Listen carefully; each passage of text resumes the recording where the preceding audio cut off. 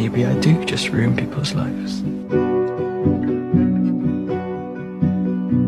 Would it be better if I didn't exist?